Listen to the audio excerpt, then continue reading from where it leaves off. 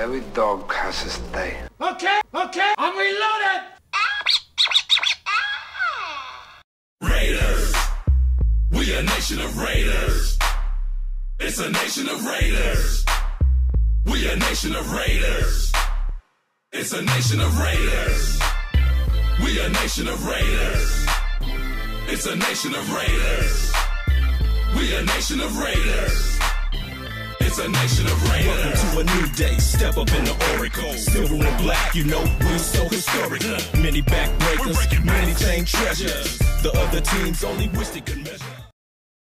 Hello, and welcome to another edition of the Inbounds with the Oakland Raiders. I'm Melinda Torgersen, and joining us today is Sio Moore, number 55 for the Raiders. This is his first year in the NFL. Sio, it's nice of you to join us here. Thank you. I appreciate the opportunity. Glad that you're you're sitting here with us today. Yeah, listening to some Christmas carols. Yeah, I know. It's kind of nice that they're singing back Right. there. So I know you um, attended the University of Connecticut. what was your major while you were uh, political attending- science. Political science. What were you hoping to accomplish with that degree? Uh, you know, the thing with political science to me, it it was something that intrigued me uh, while I was in college. Just uh, how laws were created, how laws were made, and really the morals behind them. Uh, when you look at, um, you know, especially during the civil rights movement and whatnot, I, though that that timing was very, uh, to me, was very interesting, and uh, there was a lot of controversy, obviously, and uh, those are the things that kind of really brought me to uh, want to know and learn more about politics, and you know, especially with women's rights as well. Wow. It sounds like you might do something with that later on. You sound very passionate about that. Uh, hopefully, Yeah. Mm, Hopefully, uh, I plan on going back and uh, you know doing some more stuff uh, with school once the season's over with. So I'm excited about it all. Nice. So, going back to high school, I know you attended uh, Apex High School. Yes, So, in North Carolina, it's beautiful. Cougar Pride. Nice. Yeah. Um, so, tell me, how did you balance your schoolwork and also sports? Uh, you know, the the biggest thing uh, I had to learn uh, was time management. You know, understanding. You know, you have to prioritize and prioritize the right way, and uh, giving yourself the right allotment for, you know, to be able to relax, but uh, the right time to be able to do work and do work effectively. You know, uh, you don't have to put out like six hours to, to do work, but if you, you know, you put out your two or three hours where you're actually sitting down, focusing and concentrating and getting your work done, then you don't have to drag things out. That way you can, you know, make time for other things like, you know, for your rest or if you want to go grab something to eat or if you want to, you know, hang out with your a friend or something. Well, that's great. Yeah. So, um, I'm going to ask you as far as nutrition, what do you do on season and, and then also off season? You know, that's been the biggest thing with me. Yeah. Uh, I'm sure it's not once, easy. Uh, once I started training for the combine, the biggest thing that I had to do was learn how to eat vegetables. I never ate vegetables for 22 years of my Really? life. No. My mom would literally have to fight me to eat vegetables. And uh, when I was getting ready for the combine, that's when I actually started getting in, into eating vegetables and doing it on a routine basis, you know, breakfast, lunch, and dinner. And I, I found that it, it gave me so much more energy. It gave me so much more life. And, uh, you know, uh, and it actually helped me focus more.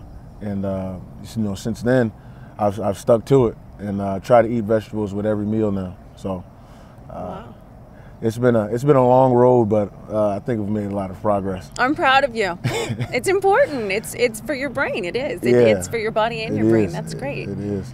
So, as far as exercise, what do you do again, both on season and off season, to stay in shape and keep your body in top condition? Well, uh, during the season, you really want to work to continue to maintain strength, um, as well as build build gradually. But the biggest thing is maintaining strength and maintaining your weight. Uh, so uh, you want to um, you don't necessarily need to go with heavy weight. You just need to go with the right weight that correlates with your body. And then in the off season, you really want to. For myself, I want to. You really want to crank it up, and uh, you want to get yourself bigger, stronger, faster, and uh, you want to eat eat the right way. You want to prepare your body to go through, you know, the rigorous season. Wow.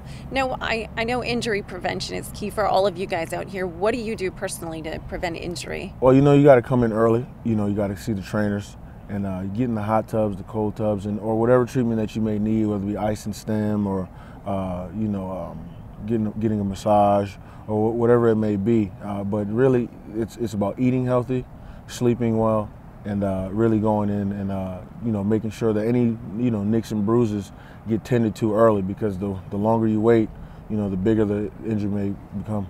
Yeah, that's true. Yeah. Yeah. So, how are you feeling? Me? Yeah, Uh, I feel you- pretty good. Okay. You know, uh, Good. everybody at this point in the season, you're gonna have your nicks and bruises. But like I said, if you uh, you know sleep well, you eat well, and you go in the training room and you go in the uh, the weight room and you do the things to uh, effectively control that, you know, you, sh- you should be good to go. Now, for students that want to go on and go to college and pursue their dreams, uh, what would your advice be for them to stay on track and kind of stay focused and, and pursue their dreams? I'd, I'd say not follow the crowd. You know, um, the biggest thing is to to want to be different, want to want to do things in a leadership role. You know, um, work work at a pace that that sets the tone for everybody else. You know, uh, sometimes I know for myself when I was in uh, high school getting ready to go to college, I was kind of afraid to be that to be that person that's different. And what I learned what I learned is being that person that's different that actually does the work effectively and um, you know takes that time out when everybody else is doing something else to study or do the work. It actually creates a, a, a more um, uh, healthy environment for education. And that's the biggest thing. You know, you want to put yourself in a position where you're around people who are going to make you better uh, from a from a school standpoint and from a uh, from just uh, people standpoint. Oh, that's that's really excellent advice. Uh, did you ever encounter um, like peer pressure or bullying when you were growing up? Did anyone pick on you? Oh or- yeah, I did, I did. But you know, the the, the thing about me, I'm a, I'm the type of person, and you know, you, you can't shake me. You know, uh, you got to have character to, to stand above people like that because those, you know, people who try to bully or or try to you know pick on you, you know, they they just want something that you have. You know, so you you look you look above them, and you continue to press on, and uh, you know, try to do things to to continue to be great. Because there's always going to be somebody against you in life. But the more you do to set yourself apart is when uh, you start to create an environment and and and motivation for others. Uh, kind of a, then you become a leader. Then you become a leader. Yeah. So, which is what you're doing right Yeah. now. That's excellent.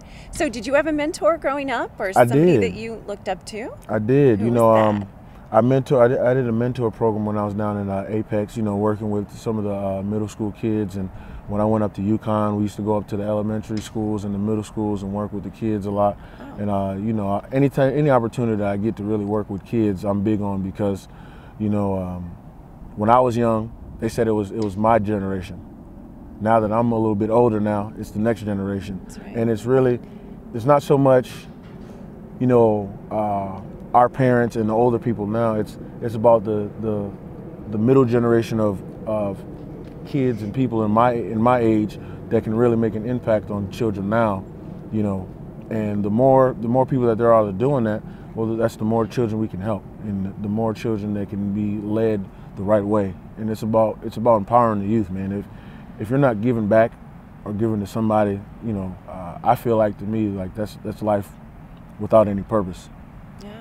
That's a good way to look at it. Yeah. So, your job as a linebacker out here, can you explain to us exactly what you do on the field?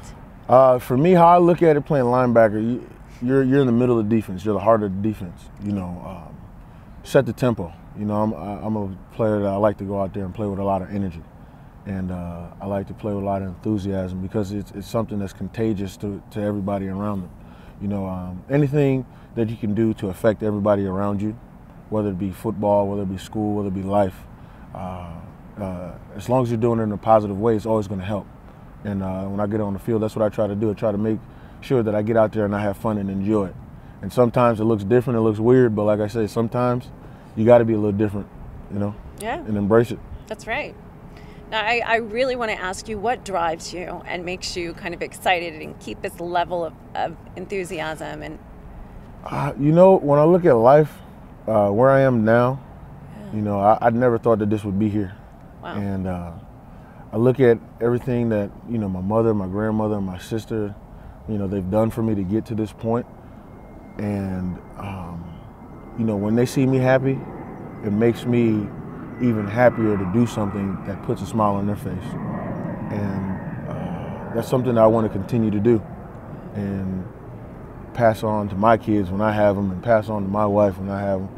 You know what I mean? And it's all about, to me, it's all about giving to to the next person, and that drive to be to become a great husband, a great father, to to to be a, a really great person. It, it gives me that life to go out here and let it all out. you truly are like creating a legacy.